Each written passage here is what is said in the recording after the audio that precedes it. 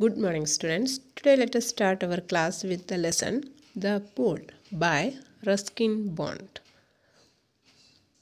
Ruskin Bond is an Indian author of British descent. He was born on 19th May 1934 and at present also he is in a good health condition. He loves nature very much and in this story also we can see his love to the nature. In this story, the author Ruskin Bond says about a beautiful story of his boyhood and growing up. It is one of the most memorable experiences of his life. Now, let's go through the summary of this chapter. Here, the story begins with a raining. He could see the rain moving across the Himalayan foothills, also smell it in the air. Instead of going home directly, he went through the forest. He could hear the sound of rushing water at the bottom of the hill. He slid down a rock fence into a small ravine, means a deep, narrow valley there. He found the stream over a bed of shingle, means large, smooth pebbles found on the bed of stream. Then he removed his sandals and started walking. Water was coming down from the hillside amongst the wild plants, and a small waterfall came down. The rocks formed a deep round pool of apple green water. Okay, green apple color water.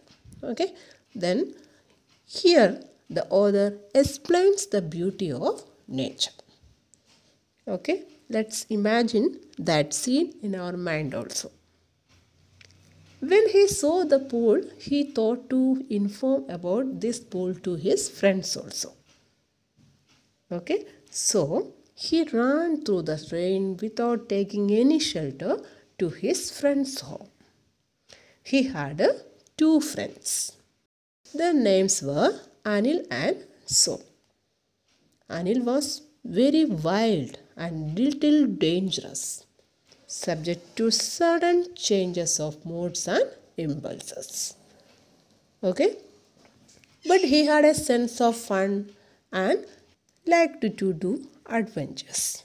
But Somi was very sensitive and gentle.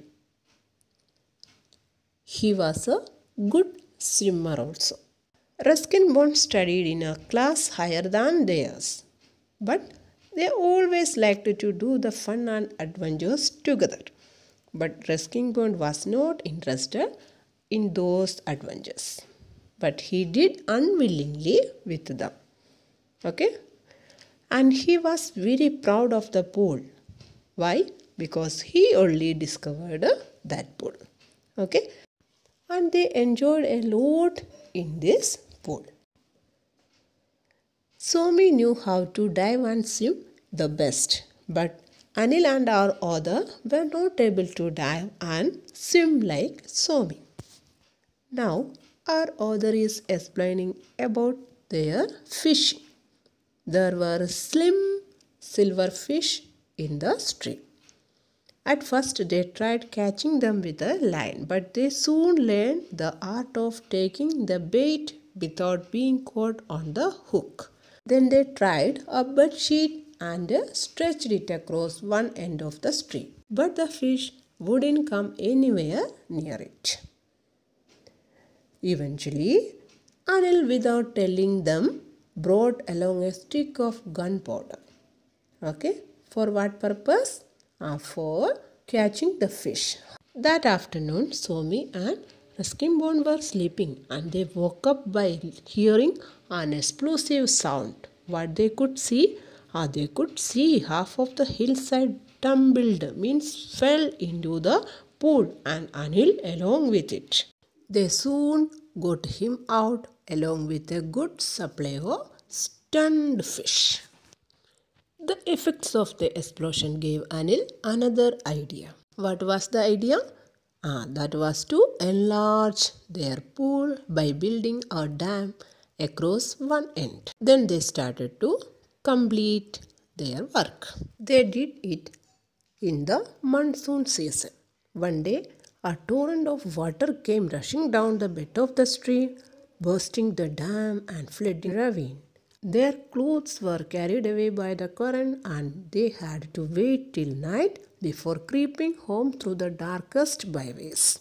Their other boyhood activities were wrestling and buffalo riding. They enjoyed their boyhood very well. They never really believed that they were finally parting and leaving the pool. After about a year, Somi passed his matriculation and entered the military academy. Anil and his family left town. After that, Ruskin Bond had never seen him again. And he is also saying that uh, he can't visualize him in any conventional occupation. Why? Uh, as he was so wild and unpredictable.